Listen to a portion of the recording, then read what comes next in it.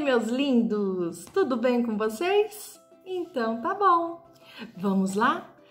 Hoje a nossa atividade é de letras e é uma atividade bem legal de se fazer. Eu espero que vocês gostem. Vamos pegar a folha onde tem um caminhão com todo o nosso alfabeto. Olha só que legal esse caminhão, hein?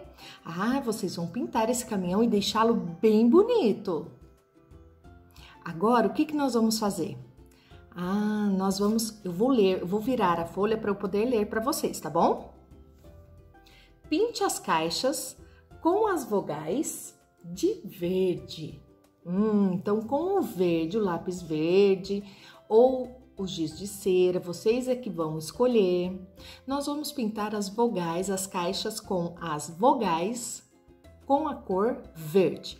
Pode ser verde claro, pode ser o verde escuro. Eu já falei para vocês que a tonalidade não tem problema. Só cuidado, porque às vezes o verde escuro, ele esconde a vogal. Ele vai esconder a letra.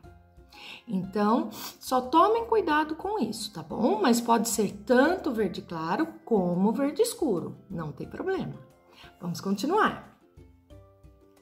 E as caixas com as consoantes de vermelho? Ah, então as caixas que tiver as consoantes, a tia Alessandra já falou isso para vocês nos outros vídeos, o que é vogal e o que é consoantes. Então as caixas de vermelho, com as consoantes de vermelho.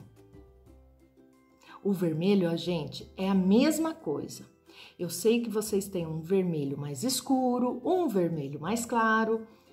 Então, escolham a tonalidade. Só cuidado para não esconder as letras, porque senão a gente não consegue ver, né?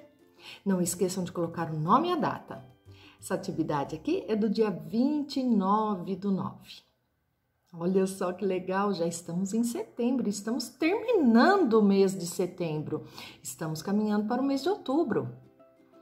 Pessoal, pintem bem bonito esse caminhão, tá bom? Um beijo para vocês, até a próxima!